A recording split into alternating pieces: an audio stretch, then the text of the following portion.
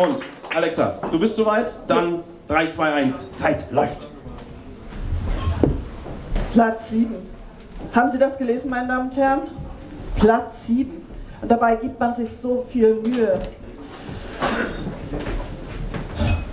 Also ich rede jetzt nicht vom Fußball, weil Werder Bremen ist ja zurzeit sogar auf Platz 6. Wer hätte das gedacht? Ja, sie werden da nicht lange bleiben, aber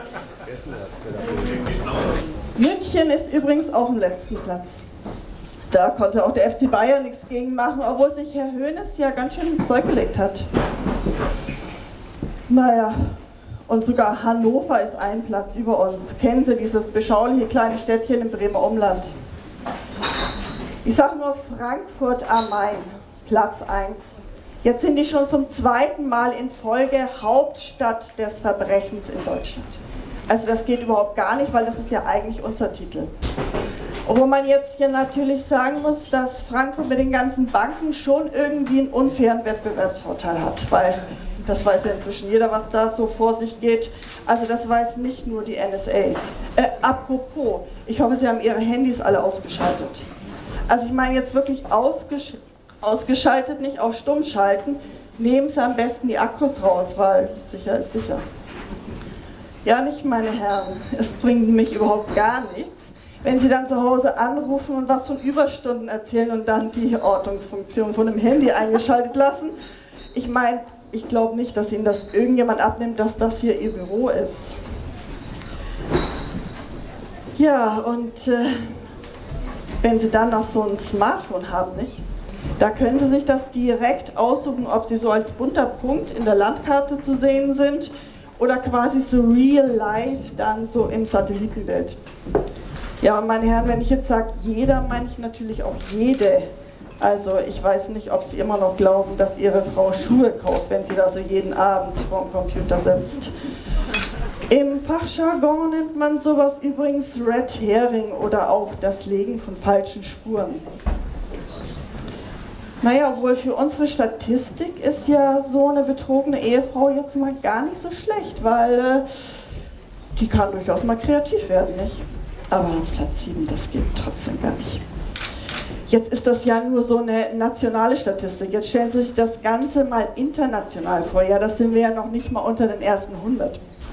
Also so Städte wie Buenos Aires, Mexico City, Moskau, Washington, die lachen sich doch schlapp über uns, nicht? Dabei stehen da so primitive Verbrechen wie Steuerhinterziehung noch nicht mal bei denen auf der Liste. Da kommt keiner für einen Knast. Naja, gut. Bei uns jetzt auch nicht jeder. Trotzdem, meine Damen und Herren, das muss besser werden und das wird besser werden, weil wir haben uns nämlich professionelle Hilfe engagiert. Das Syndikat, die mörderischen Schwestern, ja sogar die ein oder andere einschlägige Organisation im Ausland hat uns bereits gegen die Zahlung eines kleinen Schweigegeldes Schützenhilfe zugesagt. Heute noch Platz 7 und morgen schon Bremen, die Hauptstadt des Verbrechens. Das kriegen wir hin, meine Damen und Herren. Gerade mal 16.300 Verbrechen je 100.000 Einwohner gilt es zu toppen. Na, das schaffen wir. Die Verbrecher stehen alle bereit. Alles, was wir jetzt noch brauchen, sind die Opfer. Aber gerade deswegen freue ich mich ja so ganz besonders, meine Damen und Herren, dass Sie heute so zahlreich hier erschienen sind.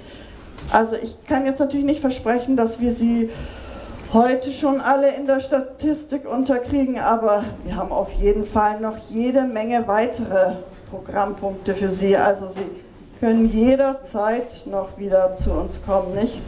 Also, wo und wann Sie uns finden, das sagt Ihnen diese kleine konspirative Broschüre, die ich Ihnen mitgebracht habe. Also, kommen Sie zu uns, sonst kommen wir zu Ihnen. Ja, so viel als kleine Einleitung. Ich hoffe, Sie haben es erkannt. Es geht um Krimi ganz klar und zwar vom 12. bis zum 26. September findet in Bremen zum 16. Mal das Bremer Krimi-Festival Primetime Primetime statt. Es gibt Literatur, es gibt Theater, es gibt Slam. Es gibt für jeden eigentlich etwas, ein buntes Programm. Die Broschüren liegen hier überall aus, nehmen Sie sie gerne mit. Wie schon gesagt, wir suchen noch Opfer, wir suchen aber durchaus auch immer noch Geldgeber, sogenannte Täter, die sind auch verschwiegen. Wir freuen uns. Ich wünsche Ihnen heute noch einen schönen Abend und noch ganz viele schöne Abende im September. Danke.